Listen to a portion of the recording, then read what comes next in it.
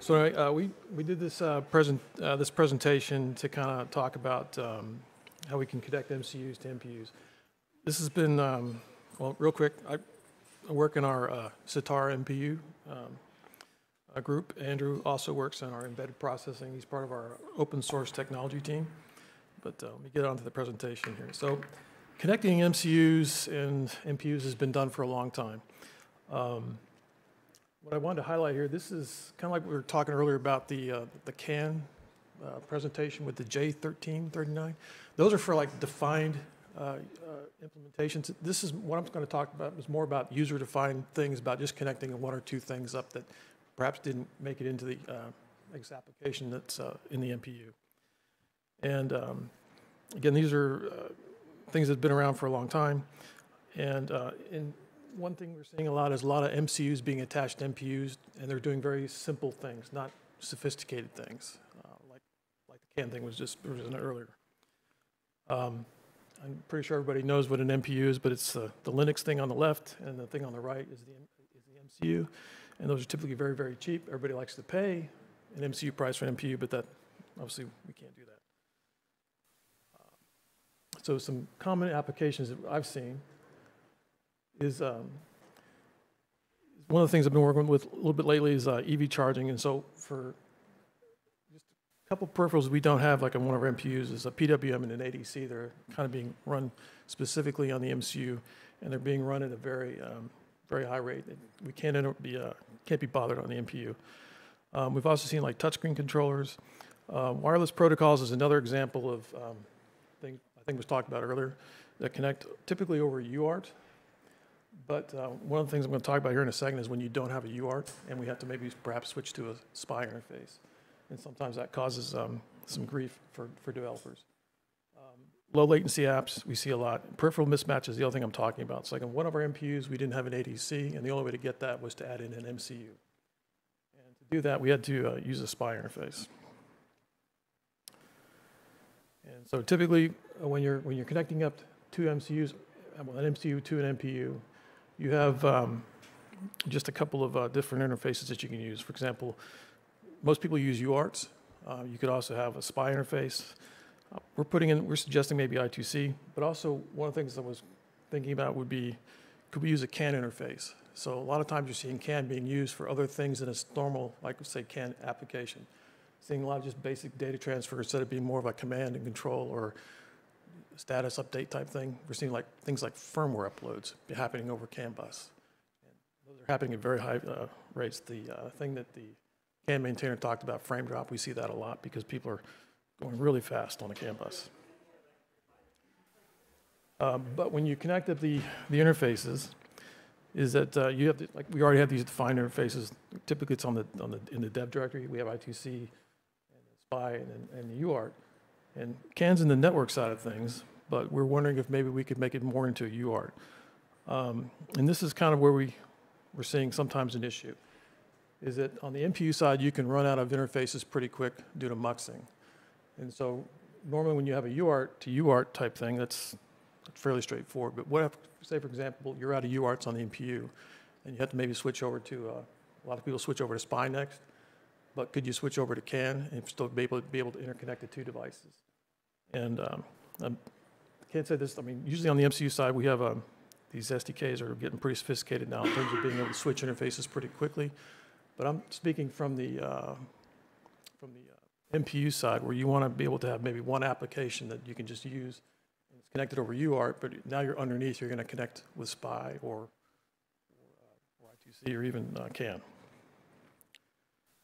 Um, and that's kind of what we're trying to say is can we just, can we perhaps kind of have something that always looks like a UART even though you've got a different underlying, underlying bus. And so like with UARTs, everybody's pretty much familiar with. You can just uh, you can cat an interface. That's a real quick way of testing it.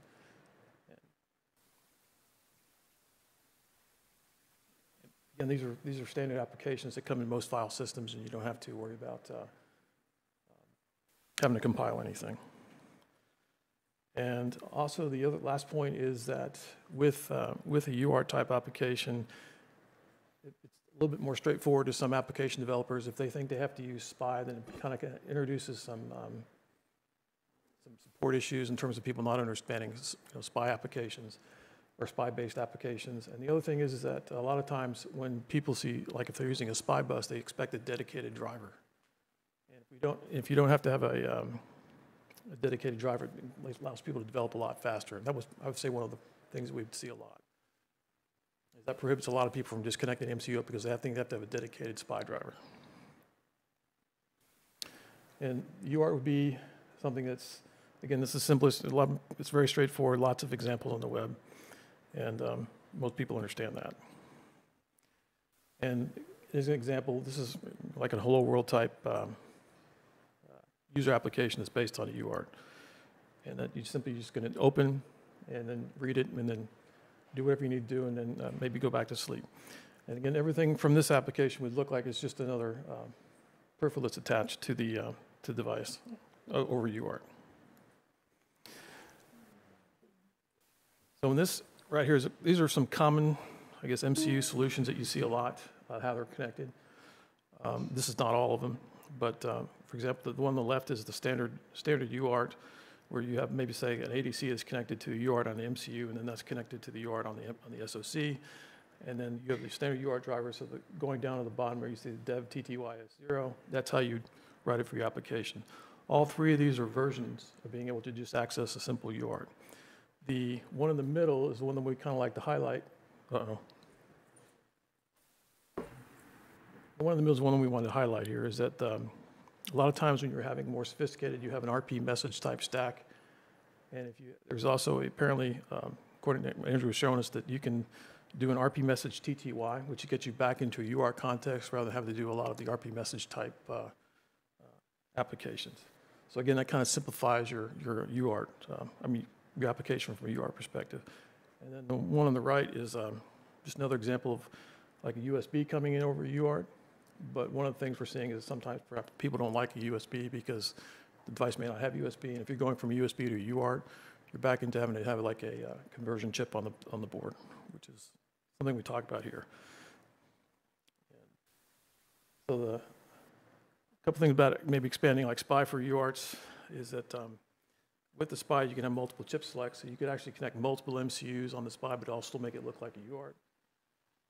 And then, um, again, we're, this is, again, this is highlighting simple data. This is not going to be sophisticated MCU applications like your, you have a, um, a MCU that's running for like a, a motor control type app. This is for more simple sensor-like data.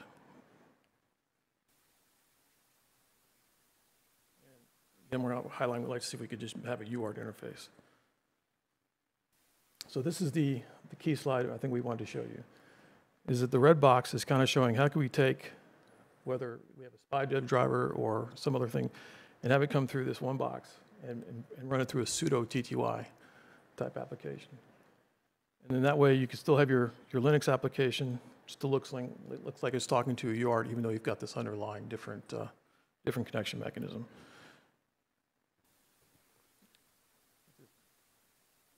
So the thing on the, on the right also is a similar thing in that um, I'd like to maybe see if we could add CAN in there. I know CAN's part of the network stack, but uh, could we, could we add that in there? Hmm? Did, there? Yeah. yeah, I was just gonna say it's basically like tunneling into uh, yeah higher, uh, more complex protocol.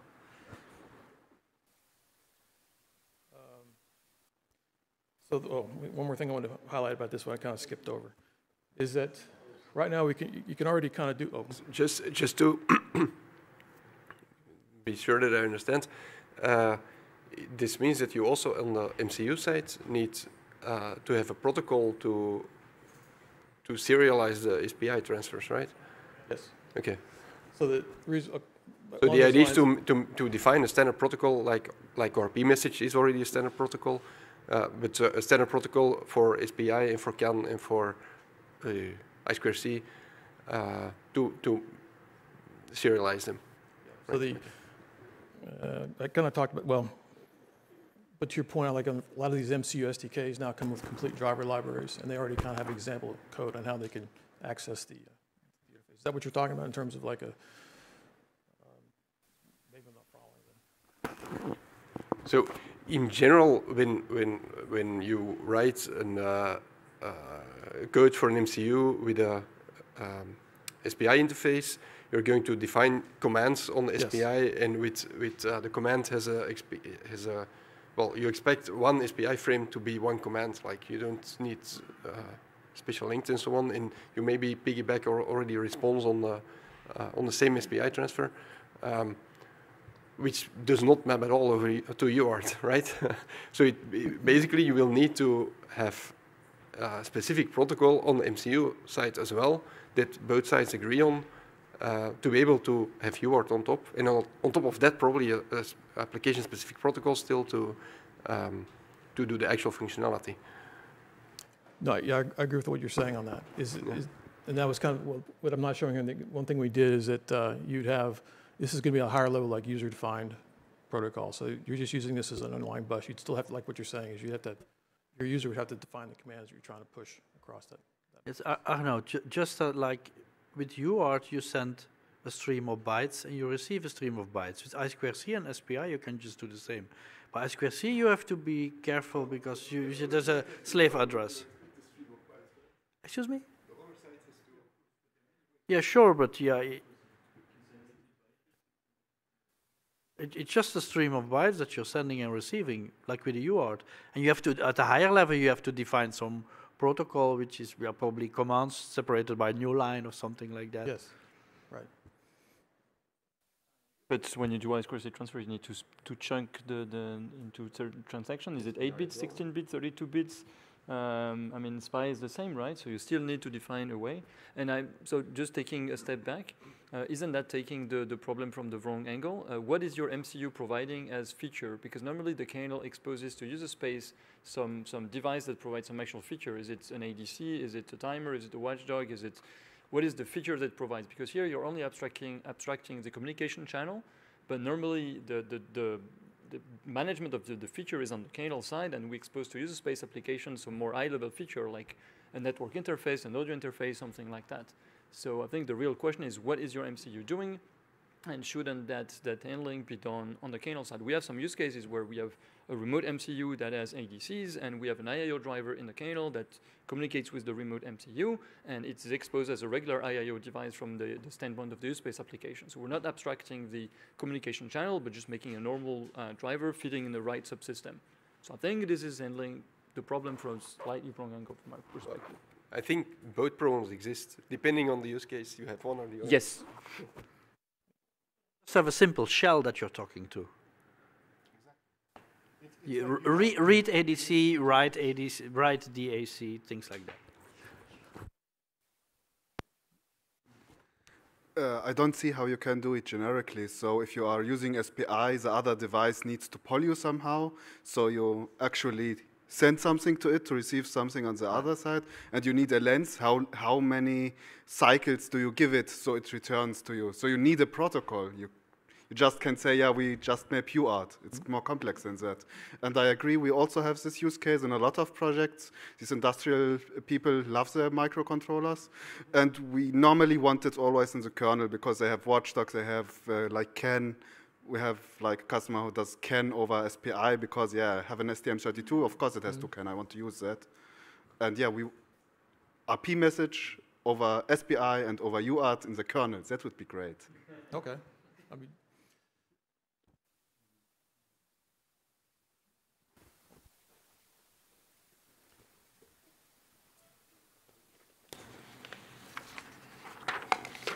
talk to you more about that one. All right, so, three minutes. Um, Well, the only thing I want to highlight next was, is whether we do this at the user level or at the uh, kernel level. And, um, because with the, kind of what you're talking about, is it, is it, at some point, you know, latency is going to come into the picture in terms of how fast we can respond. And, uh, and so therefore, that would have to be taken into control, I mean, into- into account, and then also there's a a flow control aspect. Is it, is how much data is too fast, how do we control it? And then, uh, but, um, anyway, so the, yeah, this was more thinking about, this would be from a very simple data perspective. Um, Ideally, wouldn't be too time sensitive. Um, But again, these things are also, you know, these are, the points you bring are all good ones. And uh, thought maybe UART abstraction might be something that uh, might be a very simple interface that you could use across different interfaces. But you can always discuss whether this would be. a Any more questions?